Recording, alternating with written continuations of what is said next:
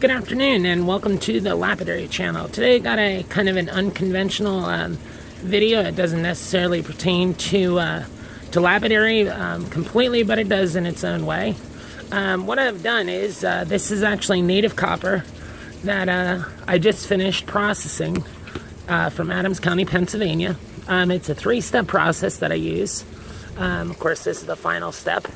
And uh, I was just getting ready to wash it off here and uh, reveal what's inside and figured I would make you guys a quick video here. But uh, you can see the before washing. And uh, here I'll show you actually what it looks like here before I clean this stuff up. I'll show you what it looks like before, you know, processing has been done at all. Here's a couple pieces, as you can see, that, uh, that have not been processed whatsoever. And of course, this is what it looks like after the third stage. Frosting it takes a few days. Um, it's a lot of work. You, uh, it's all done in a tumbler and then by an abrasion, and um, you need to do it in basically something really heavy duty. You can't use a uh, a rubber lined drum or or anything like that, or you're just going to tear your liners up. I made that mistake a long time ago and never again. So I actually built this uh, this one barrel. I have several of them. And uh, this I made out of a really, really heavy gauge Schedule 40. Uh, it actually cost me quite a bit of money because of the uh, the size of the fittings and stuff. The fittings on that were like $50 a piece. But it's the only thing that I found so far that actually holds up, you know, to take in such such force and, and such with the uh, the copper because it, it just really beats your, your tumblers up.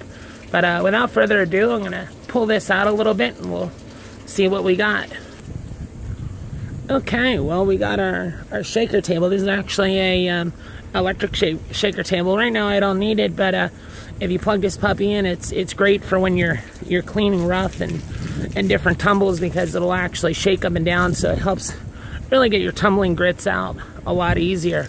Um, or just for everyday use when I bring home rough that I've mined. Um, I throw it on here before I power wash it, and it just just that shaking ag agitation action just really helps. But uh, let's get into the copper and see what we got here.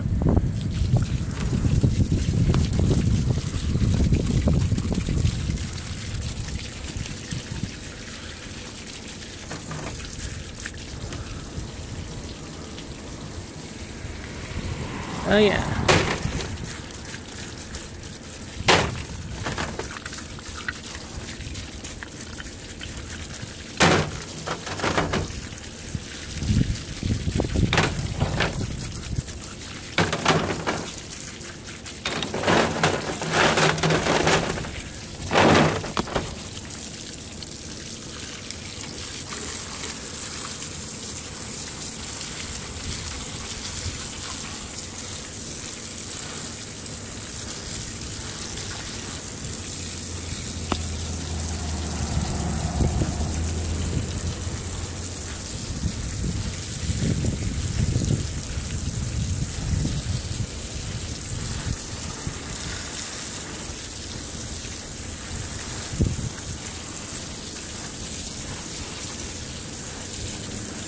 It's a lot of work, but I'll tell you what, it's it's well worth it when you see just what's underneath this stuff from the uh, outside unprocessed.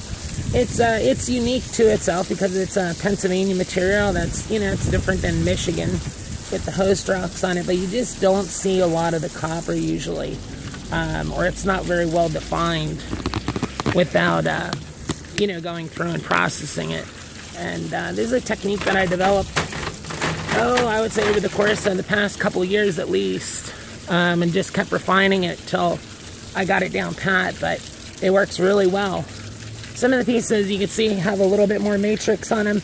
Um, you could throw them back in again. Typically, if you throw them back in again and you would just put them on a, a real rough tumble, they're uh, they're typically ones that are more like copper, you know, big copper nuggets, so they're not going to have a lot of you know, really aesthetic features besides a, a, uh, of a lump.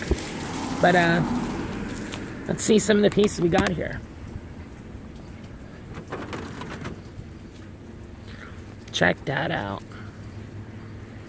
How cool is that?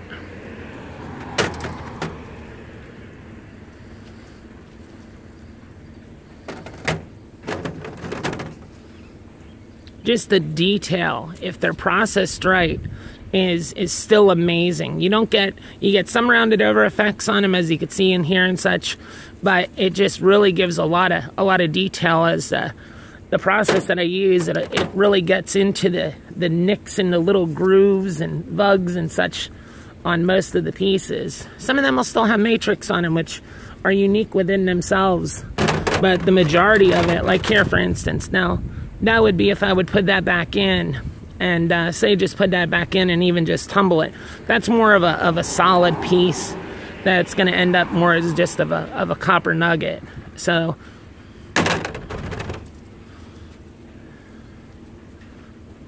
it's just amazing the detail in this stuff.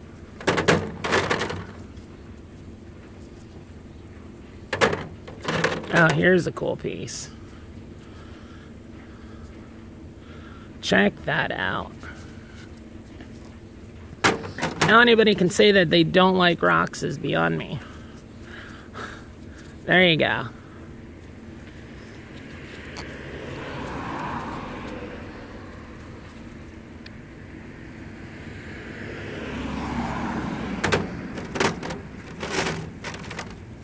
Oh, now there's a cool hunk.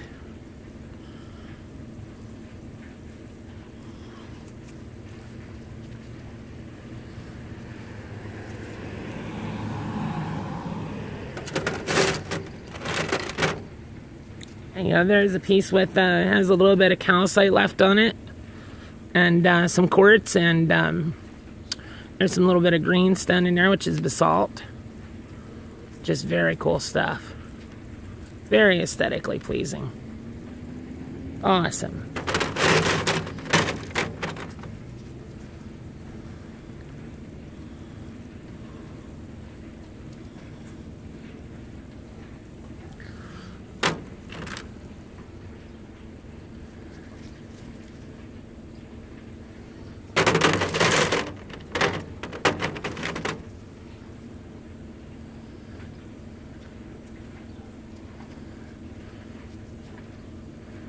Check that out.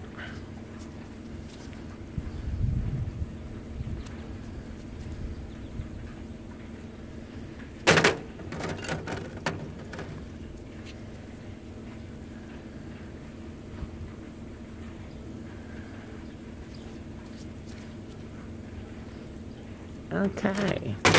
Well, I think that about does it. And uh, I'm going to dry these off actually before they start oxidizing.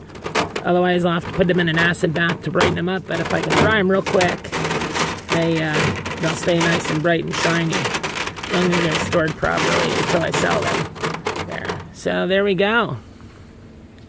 And that took about three days. Um, like I said, roughly, it's it's a three uh, three step process that I use, and uh, well worth it.